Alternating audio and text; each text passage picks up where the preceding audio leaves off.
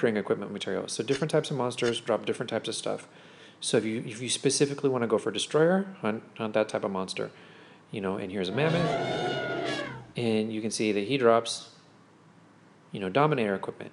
So the type of monster you're going after will drop different stuff, and some of them are speed up monsters, etc., etc. There's also um, epic monsters and, and rares and stuff like that. So there you go. Like this is destroyer. Okay. Anyway, you get the idea. That's that. There's your help menu. You see the bottom left hand corner, right where it was near search? When you want to help your friends, click there. Alliance. Research.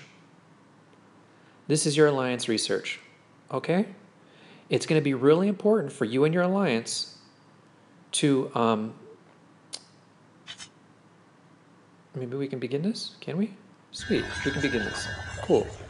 You do research, and then when you speed it up, you're going to see that um, you know you need to use speed ups.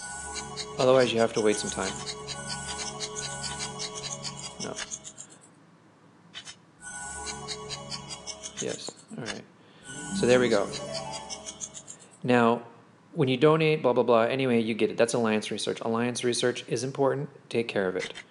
Um, then there's the alliance dragon. Okay, this guy, he's also important. But in order to level him up, you got to donate junk. So you click donate, and you basically send resources. Okay? You know, just whatever, just send. And then um, it's gonna, you know, send resources and level him up. And under your traits, you can add points. So you'll see that that we're kind of a new alliance. Uh, I'm making excuses, and that we don't have many points. Maybe an older alliance will have a lot of points. But anyway, there you go. Uh, so you got to level up your dragon. You've got to level up your alliance research. These are important. Beyond them, donate, get them done. Um, last and most importantly, is your packages. You've got a seven day one dollar shield. Use it.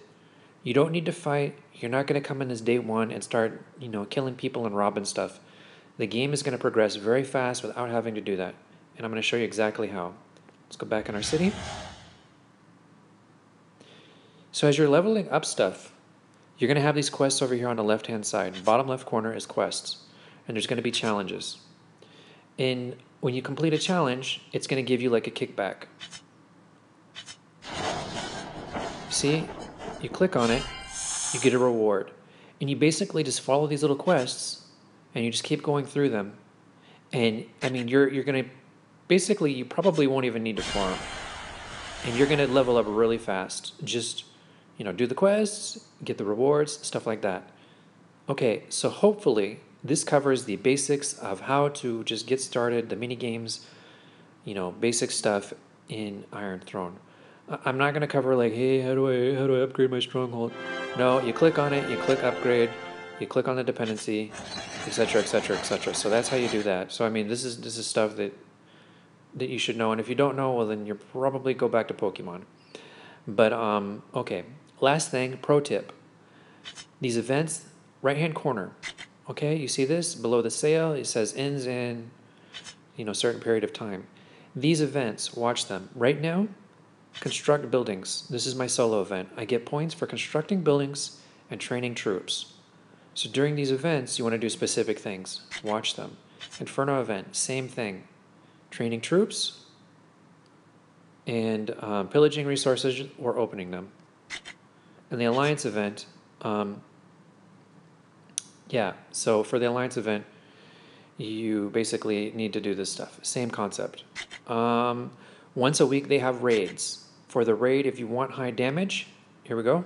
This guy starts in 24 hours. For this raid, you want to buy the raid equipment set. It's $50. Without it, you're not going to do any any damage. Free players, I'm so sorry, but it's a free event, but you're not going to win it. If you don't if you don't spend the $50 for the equipment, you're just not going to win. Tough cookies, that's life, you know, whatever. It requires a lot of stamina and it requires raid equipment. But the raid equipment isn't expensive. So there you go. You teleport into it fast, and you hit it over and over and over again for an hour. That's it. Um, okay, so that's the basics. Yeah. Uh, anything else? Maybe. This This temple allows you to revive troops. I've already lost a whole bunch and revived them, but when you lose troops, you can come in here and revive them too. Super cheap. Everything below T6 is super cheap to revive. Um, let's see here. Anything else that you guys might be interested in in terms of quickie tips? You can excavate some troops. Huh. I don't know what this is. Maybe I have troops ex excavated already. I have no idea. Um, so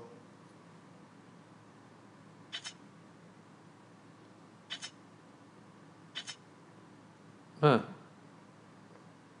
Did that just give me more troops? Maybe. Let's see here. Huh. Cool. So there we go. I didn't realize I had some troops hidden in there. But what you do for that is that is like if you know that you're going to get hit one day, this is like your backup plan. You know, you can, you know, excavate some troops, hide them in there, and then after you're done being attacked and you can shield, you just bring them out again. You see? So that's that. I've never used it before. So um, um, um, um, um, um, here's the prison. You're gonna need this later on for killing, uh, killing enemy troops. And then after you kill them, you come in here and you're gonna, uh, you're gonna get buffs. So I don't have any right now. They're not activated. I haven't killed any, uh, any heroes in a bit. Oh yeah, heroes. Uh, heroes are here. So for heroes, you're basically going to, you know, assign your equipment. Don't worry about having a lot of heroes at first. Probably just start out with like monster hunt, you know, mon- monster hunting. Monster hunting, you know, construction, research, and defense. Four heroes, level them up. It's good enough. Focus on them. Get that that you know that base started. Um, there's a fifty dollar pack for training troops. I think that's gonna be uh, which one is training troops? So Maria is there something to that. Yeah, so this one. So this set is going to give you troop training bonus. So normally you would, um, the, the treasurer would be for like gathering type stuff, but you can abuse it by putting the, um, the hero for um, basically you can just put the treasurer bonus, the, the train, troop training gear on the treasurer bonus, and that'll give you troop training bonus. Uh, questions, questions, questions. Yeah, I think this is going to be the longest, quickest way that I can run through everything. But um, watch this, send this to your friends. Make sure people see this video. If you're new to Iron Throne, watch it real quick. It'll help you get started and you know orientated because this game, I mean, four mini mini games and, and all this extra stuff and heroes and yeah, it gets confusing. So this is the basics. Um, don't worry if you mess up stuff, like your heroes can be reset. Um, you know, if your hero gets captured, executed, don't worry about that stuff. You it'll, you know, there, this game is very forgiving in terms of of recovering and healing and reviving troops and stuff. Just play and have fun. It's a really awesome game. So, okay, love you guys. Bye bye for now.